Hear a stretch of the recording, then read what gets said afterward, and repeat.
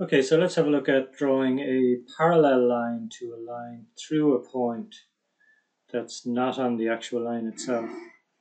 So we take this line, a line segment here, let's say AB, and let's say we have a point here, let's call it C, and we want to draw a line through C that's parallel to this line segment here AB. So a couple of ways of doing it. First thing we're going to do is just use our set square. Uh, so we're going to take our set square, put it along here, bring it up to C, draw a line straight down here. So we know that this line is perpendicular here. Next thing you're going to do is take your set square, just turn it around, bring it up to C here, and along this line here, and draw a line straight across here like this. So that line should be that line should be parallel. That line there should be parallel to this line here.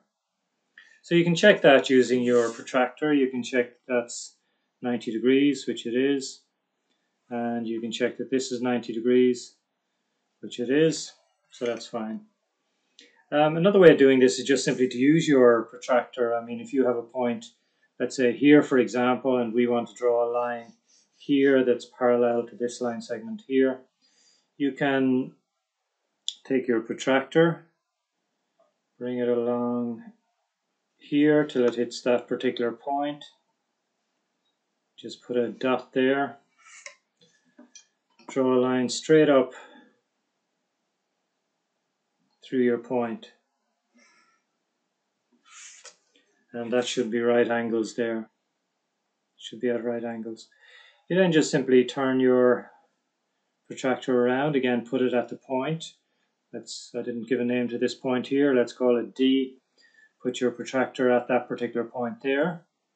And then along this line, mark your 90 degrees here and draw a line through D. So that line there, this line here will also be parallel to this line here. So you can check your angles there. That's 90 degrees there. That's 90 degrees there. So that line is parallel to that line there. And it's going through this particular point. And also here.